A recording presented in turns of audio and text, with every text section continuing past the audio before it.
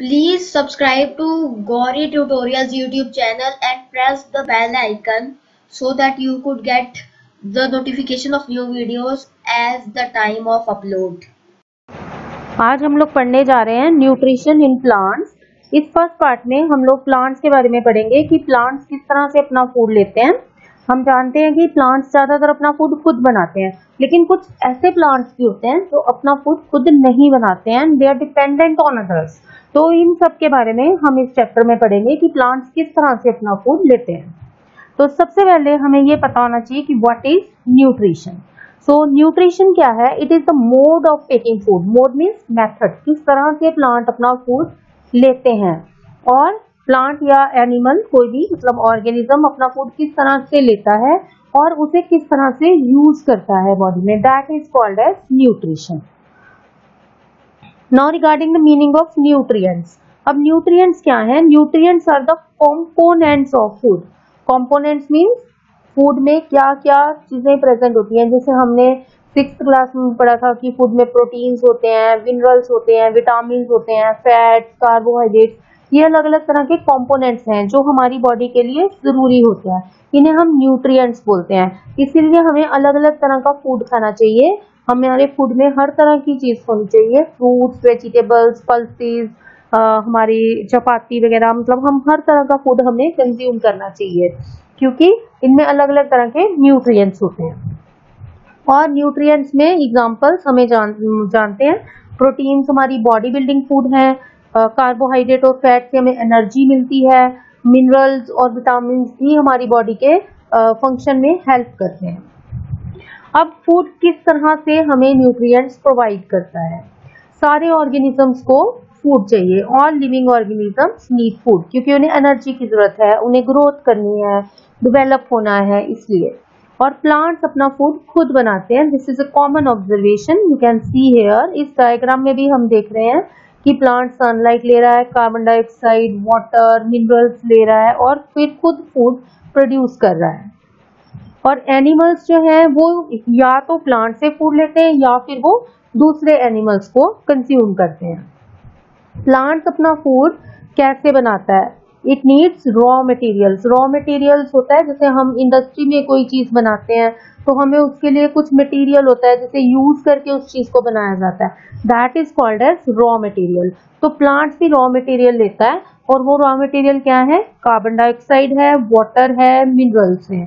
जो उसे अपने इन्वायरमेंट से मिलते हैं। Now regarding the modes of nutrition generally अगर हम बात करें तो न्यूट्रिशन दो तरह की होती है। पहला मोड है न्यूट्रिशन का that is called as autotrophic mode of nutrition और दूसरा है हेट्रोट्रॉफिक न्यूट्रिशन अब ऑटोट्रॉफिक क्या है? ऑटो का मतलब होता है सेल्फ अपने आप। Trophic means process of taking food ये वो मोड है न्यूट्रिशन का जिसमें ऑर्गेनिज्म अपना फ़ूड खुद बनाते हैं, अपने आप, जैसे कि green plants then is heterotrophic nutrition ये वो मोड है न्यूट्रिशन का जिसमें ऑर्गेनिज्म अपना फ़ूड खुद नहीं बनाते हैं बट दे टेक इट वो अपना फ़ूड लेते हैं, दूसरे ऑर्गेनिज्म से लेते हैं, जैसे नॉन ग्रीन प्लांट सारे प्लांट्स फोटोसिंथेसिस नहीं करते हैं। देर आर सर्टन प्लांट्स जो कि दूसरे प्लांट या दूसरे एनिमल से भी अपना फ़ूड लेते हैं। ऐसे ही एनिमल्स हैं। एनिमल्स के बारे में तो हम जानते ही हैं कि दे आर हेट्रोट्रॉफिक यानी कि वो अपना फ़ूड खुद नहीं बनाते हैं। अब ऑटोट्रॉफिक में हम जैसे देख सकते हैं कि ग्रीन प्लांट्स होते हैं, जो कि ऑटोट्रॉफिक मोड है जिनका न्यूट्रिशन का। यहाँ आप देख सकते हैं कि सन की एनर्जी लेते हैं प्लांट्स और एनर्जी लेने के लिए प्लांट के अंदर एक ग्रीन पिगमेंट होता है that is called as chlorophyll ये उसके सारे ग्रीन पार्ट्स में होता है लीव्स में होता है, अगर स्टेम की, अगर उसकी स्टेम भी ग्रीन है तो उसमें भी होता है। तो ये इसको यूज़ करता है, ये लाइट एनर्जी को लेता है और रॉ मटेरियल जैसे कार्बन डाइऑक्साइड है वाटर है मिनरल्स है, इन सबको यूज़ करके फ़ूड बनाता है। तो ये ऑटोट्रॉफिक होते हैं। दूसरी साइड पे हम हेट्रोट्रॉफिक न्यूट्रिशन के बारे में भी पढ़ेंगे इस चैप्टर में। अब यहाँ पर जैसे आपने देखा होगा कि ब्रेड के ऊपर कई बार ये फंजाई हो जाती है ब्रेड मोल्ड हो जाती है। ये जो ऑर्गेनिज्म है, ये अपना फ़ूड खुद नहीं बनाते हैं। They are dependent on other organism for their food ऐसे ही एनिमल्स है कोई भी एनिमल अपना फ़ूड खुद नहीं बनाता है। या तो वो प्लांट्स को खाता है या फिर प्लांट्स या फिर वो दूसरे एनिमल्स को खाता है जो कि हर्बीवोर्स हैं यानी कि प्लांट्स को कंज्यूम करते हैं। ऐसे ही आ, कुछ एक प्लांट्स हैं जो कि पूरी तरह से अपना फ़ूड खुद नहीं बना पाते हैं और वो एनिमल्स को भी कंज्यूम करते हैं इंसेक्ट्स को कंज्यूम करते हैं। They are called insectivorous plants इनके बारे में भी पढ़ेंगे हम इस चैप्टर में।